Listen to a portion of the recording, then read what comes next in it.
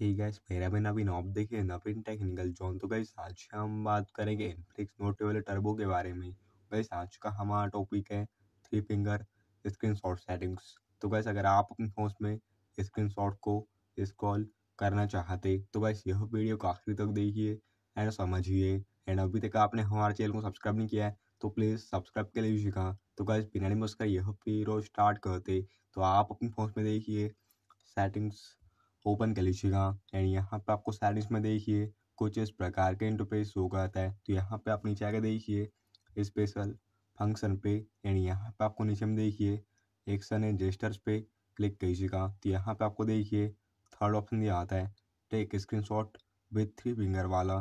तो आप क्लिक कीजिएगा तो यहाँ पे आप देखिए, take screenshot with three finger को ऑन कर लीजिएगा तो भाई जैसा भी ऑन करेंगे तो इसमें क्या होता है कि आप जैसे अपने फ़ोन में थ्री फिंगर से नीचे की ओर स्लाइड डाउन करेंगे तो आप अपने फ़ोन में स्क्रीनशॉट को स्क्रॉल कर पाएँगे। तो कैसे होता आज का हमारा टॉपिक उम्मीद है आपको वीडियो पसंद होगी। आज के लिए बस इतना ही।